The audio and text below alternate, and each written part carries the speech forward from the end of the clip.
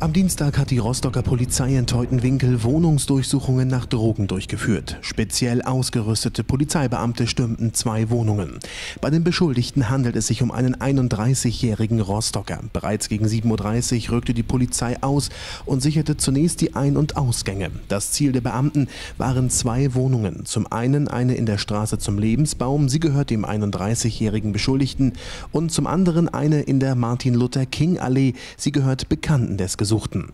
Mit einer Ramme verschafften sich die maskierten Polizisten Zutritt in die Wohnungen. Beide Zugriffe fanden parallel statt. Zwar konnten Bekannte des gesuchten 31-Jährigen angetroffen werden, er selbst zunächst aber nicht. Zusammen mit Mitarbeitern des Kriminalkommissariats durchsuchten die Polizisten die beiden Wohnungen nach Drogen und wurden schließlich fündig. Laut der Polizei war die Durchsuchung erfolgreich. Was die Beamten genau an Drogen sichergestellt haben, wollte man aufgrund des laufenden Ermittlungsverfahrens aber nicht mitteilen.